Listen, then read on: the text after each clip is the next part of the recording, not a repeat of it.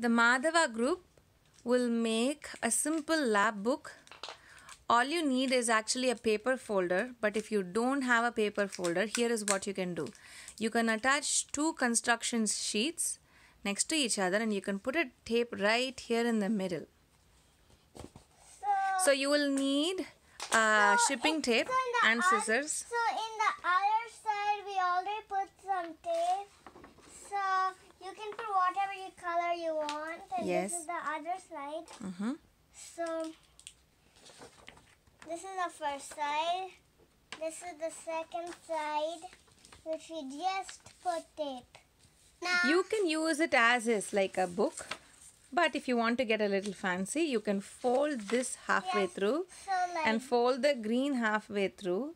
So this will be like your the typical lapbook that you'll see. So now you fo- you have now you have folded this in half. And so this is how your lapbook will see and we'll add our further elements.